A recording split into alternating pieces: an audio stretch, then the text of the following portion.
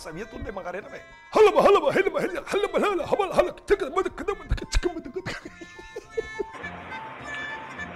Maconha. E aí, meus queridos do Mundo Edu, eu sou o Gui, do Mundo Matemática, e a aula de hoje vai ser sobre gráfico de função afim e os coeficientes da função afim. Roda a vinheta.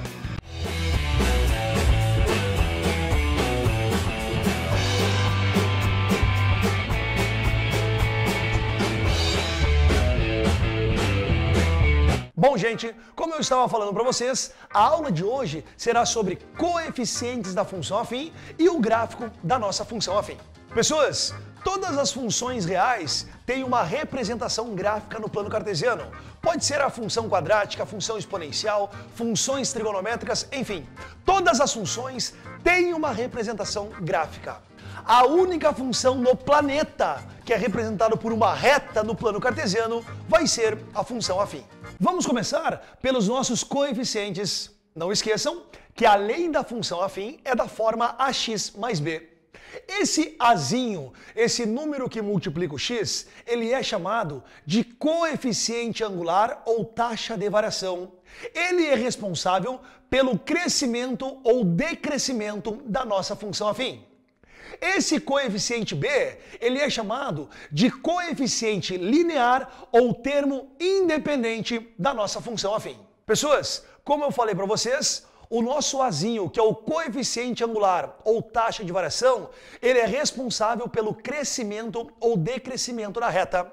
Nesse primeiro gráfico, eu vou montar aqui para vocês uma reta que esteja crescendo. Sempre que a reta estiver crescendo, o nosso A vai ser positivo.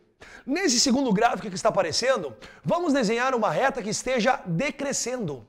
Sempre que a reta estiver decrescendo, a função é decrescente, o nosso A vai ser um número negativo. Ou seja, o A manda no crescimento ou decrescimento da função. Se A for positivo, a função é crescente. Se o A for negativo, a função é decrescente. Pessoas, o nosso coeficiente b, que é o coeficiente linear da função afim ou o termo independente, graficamente falando, ele é o ponto onde a reta corta o eixo y. Se essa reta cortar o eixo y abaixo do eixo x, o nosso b vai ser negativo. Se a nossa reta cortar o eixo y acima do eixo x, o nosso b vai ser positivo. Pessoas, vamos pegar um exemplo? Vamos supor que a minha f de x seja igual a 3x mais 12. Pergunto para vocês, essa função é crescente ou decrescente? Pog, o número que multiplica o x é o número 3. 3 é um número positivo. Logo, essa função é crescente. Qual é o termo independente da nossa função? Aquele termo que não aparece o x, não é o 12? Vocês concordam comigo que essa reta vai passar exatamente no 12 lá no eixo y? Então, essa nossa reta é crescente, passando pelo 12 do eixo y. Agora, pessoas, vocês repararam que no gráfico de uma função afim vão aparecer dois pontos que eu vou chamar de pontos notáveis do gráfico? Sim, aquele ponto onde a reta corta o nosso eixo y e aquele ponto onde a reta corta o eixo x.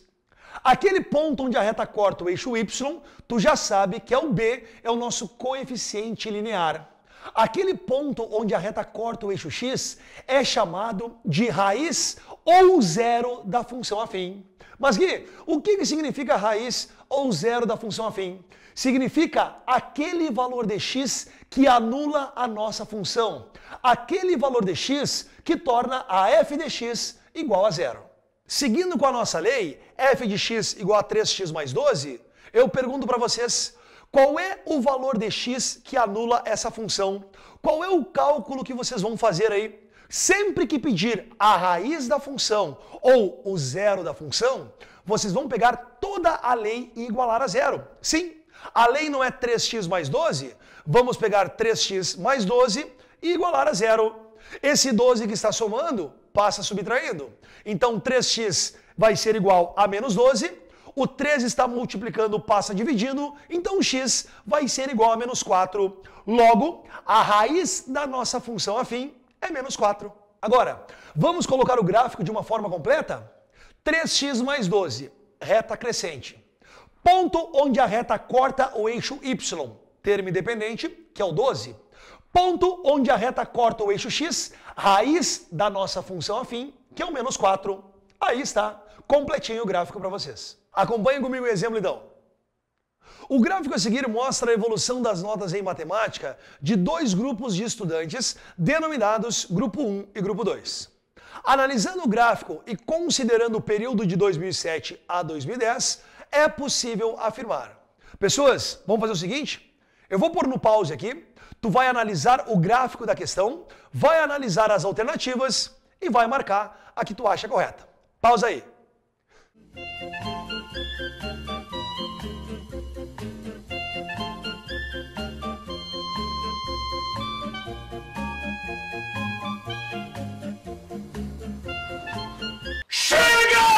Analisaram o gráfico? Vocês concordam que pelo gráfico o grupo 1 é uma reta crescente, ou seja, a nota do grupo 1 está aumentando? E o grupo 2 é representado por uma reta decrescente, a nota do grupo 2 está diminuindo. Gabarito da questão, letra E. Pessoas, vamos para o próximo exemplo então, envolvendo essa parte de função afim, análise gráfica e coeficientes.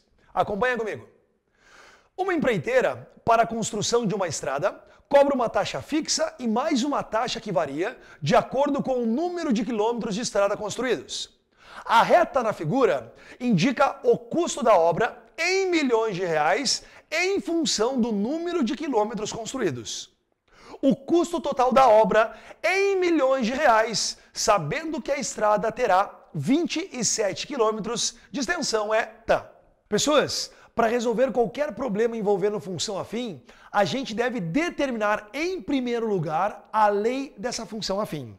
Quando eu falo determinar a lei da função, eu estou falando para vocês determinarem os valores dos dois coeficientes da função, do coeficiente angular e do coeficiente linear. Meus queridos, para determinar a lei de uma função afim a partir do gráfico dessa função, a gente precisa ter pelo menos dois pontos da nossa função. Sim, dois pontos são necessários para determinar a lei de uma função afim. Pessoas, quais são os dois pontos que a questão forneceu para vocês no gráfico? Não foi o ponto 0 e 3 e o ponto 9 e 6? É só pegar ali os pontos que pertencem a essa reta. Agora, como que a gente vai fazer para determinar o coeficiente angular a partir de dois pontos. Simples, basta fazer a diferença dos valores de y pela diferença dos valores de x. Tu pode fazer y2 menos y1 dividido por x2 menos x1. Meus queridos, eu vou pegar o ponto 0 e 3 como sendo o ponto 1 e o ponto 9 e 6 como sendo o ponto 2. Para determinar o a, joguem na formulazinha do coeficiente angular diferença dos valores de y pela diferença dos valores de x. 6 menos 3 dividido por 9 menos 0. 6 menos 3 dá 3, 9 menos 0 dá 9. Simplificando o 3 com 9, a gente conclui que o nosso azinho vai ser igual a 1 terço. A lei vai ficar de qual forma? y igual a 1 terço vezes x mais b. Mas Gui, e agora, como é que eu faço para achar o B?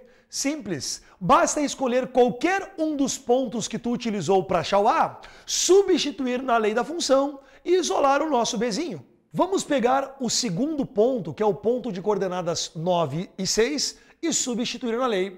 Pessoas, o ponto de coordenadas 9 e 6 significa dizer que quando o x for 9, o meu y vai ser igual a 6. Substituam ali 6 no lugar do y, 9 no lugar do x. 9 dividido por 3 vai dar 3.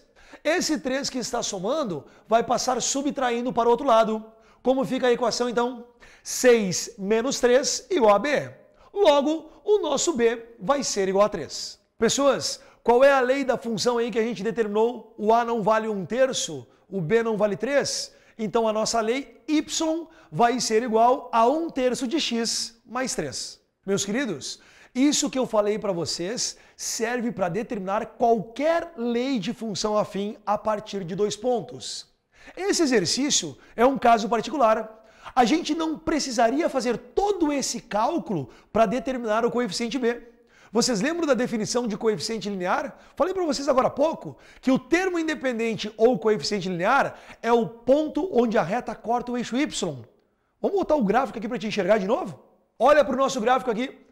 Qual é o ponto onde a reta está cortando o eixo y?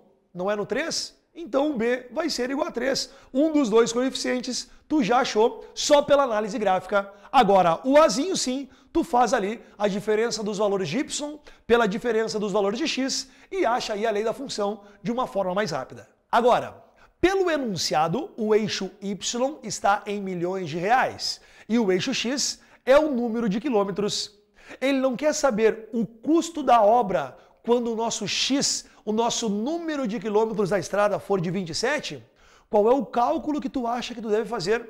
Não basta calcular simplesmente a f de 27, ou seja, substituir o x da função por 27? Então, calcule comigo. f de 27 vai ser igual a 1 terço vezes 27 mais 3. 1 terço vezes 27 é a mesma coisa que 27 dividido por 3, que dá 9. 9 mais 3 dá 12. Logo, a nossa f de 27 é igual a 12. O que, que isso significa? Que para 27 quilômetros, a empresa vai ter um custo de 12 milhões de reais. Alternativa correta, letra C. Bom, meus queridos, na aula de hoje eu mostrei para vocês o gráfico da função afim, quando que a função afim cresce, quando que a função afim decresce. Falei para vocês sobre os dois coeficientes, o A e o B, que é o coeficiente angular e o coeficiente linear. Sigam o plano de estudos e vamos juntos ao topo do Enem. Um beijo e até a próxima. É... Dala tu cuerpo alegría Macarena, que tu cuerpo es para dar la alegría y cosa buena. Dala tu cuerpo alegría Macarena, eh Macarena. Dala tu cuerpo alegría Macarena, que tu cuerpo es para dar la alegría y cosa buena.